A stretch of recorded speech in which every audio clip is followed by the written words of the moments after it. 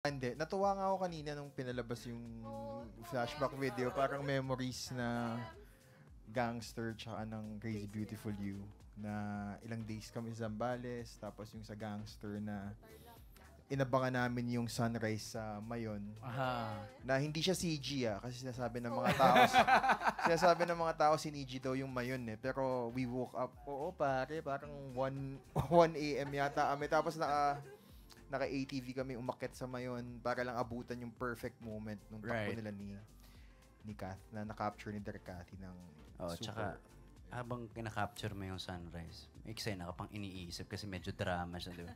So medyo may, nagpapanik ka na rin, nape-pressure ka na. Pero yeah, ganun yung mga moments namin ni Danny. Yun yung sinasabi ko, ang dami kong memories, diba? Behind the scene, yun. Alam mo yun? Right. Yeah. Pero nung time na yun, Direct Dan, as uh, As cinematographer, DOP, yeah. oo. Ngayon, you're taking the helm. You're the Yeah. captain of the ship.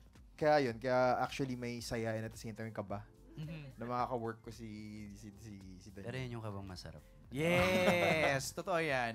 Pero direct, so direct Dan, nakita mo si DJ yung growth niya, no? From gangster to crazy beautiful you and up to this moment, what can you say?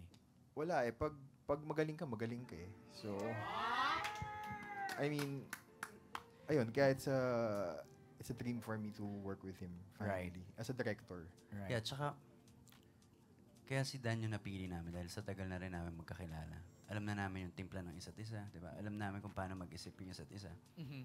Yan sabi ko, "Si- eksakto si Dan para sa pelikula na to. Yan sabi ni Van, it's like, andun yung comedy, di ba? Pero hindi siya slapstick na nagpapatawa Right, tayo. right. Di ba kasi life is also amusing, it's, di ba? Yeah. It's- Di ba, nakakatawa ang buhay. eh. Di ba, dun, dun siya, eh, hindi siya slapstick na papatawa kami dito. Hindi.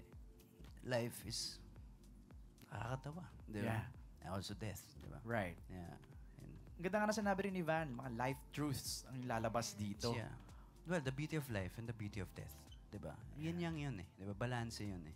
So, Max. dito natin makikita yan. Yan ang excited kaming makita. Maraming maraming salamat. But,